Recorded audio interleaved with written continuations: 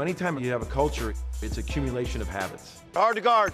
Keep it moving. We have a culture of discipline, of showing your hands, reaching for the lights, the verticality rule, jumping second, not being undisciplined. You add up all those things, the culture is less fouls. You didn't have one player fouled all year. That's culture. That's habits. The Walla culture came from working for Coach Majerus. There was all these little sayings that he would say, through you to the rim, never be three in a row. And I decided just to put them all up on the wall. My freshman year when I walked in the locker room, I see the wall and I'm like, okay, you know, what does that mean? What does that mean? But coach has done a great job of, you know, small teaching points. So I picked up on it quickly.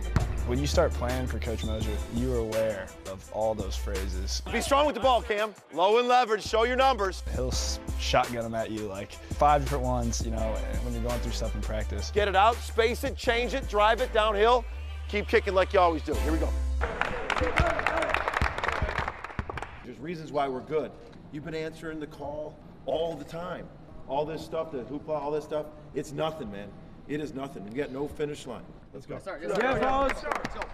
Work. Here we go, man. So y'all team together on three. One, two, three. Team together. Let's go, bro. Let's go, go, boy.